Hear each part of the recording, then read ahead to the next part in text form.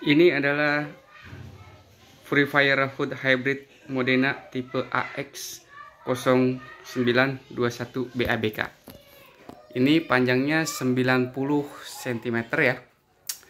Dan ini tebalnya sekitar 10 cm. Ke sininya sekitar 40 cm. Ini dilengkapi dengan 3 speed.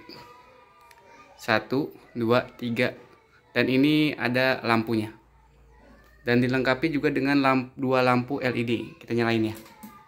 Nah ini lampu pertama ini lampu kedua.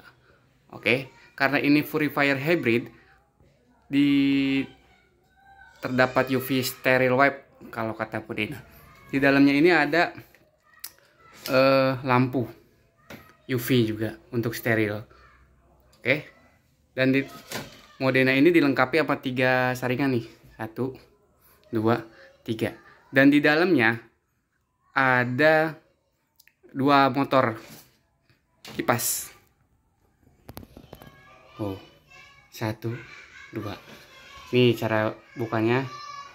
Tekan ke belakang, lepas. Nah itu tuh. Dan ini pembuangannya ke atas. Tuh. Tidak seperti model lain yang bisa untuk uh, airflow-nya dimasukin ke sini disedot diolah terus dibuang ke sini. Tidak. Kalau tipe ini langsung dibuang ke atas. Jadi harus siap-siap punya. Nah ini nih. Kalau saya udah dibikin ke atas tuh. Pipa. Oke sekarang kita lihat tipe karbonnya saringannya. Nah seperti ini ini seperti ini. Seperti biasa. Ini pasangnya pasin dulu bagian belakangnya. Klik. Oke. sekarang kita akan coba nyalakan speed 1 speed 1 suaranya kayak gimana sih? Nih ini start jarak sekitar 30 sentian. Oke. Ini speed 1 kita coba speed 2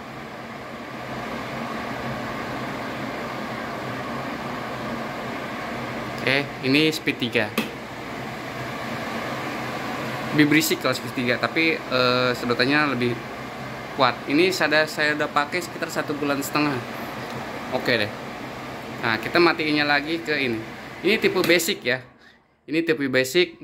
Ada di atas ini, itu tipenya touchscreen. Sini. Dan tentunya karena ini lampu LED berbalangan nyala dengan lampu UV yang ada di dalam ini, ketika lampu UV-nya eh, LED-nya dimatiin. UV-nya mati. Oke. Okay. kalaupun ini dinyalakan speed 1 lampunya nggak mati eh lampunya tetap mati. Ya kan? Oke jadi lampu UV ini nyala ketika si lampu LED dinyalain bareng.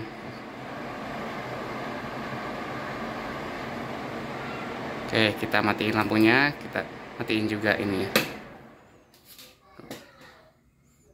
Pasang lagi.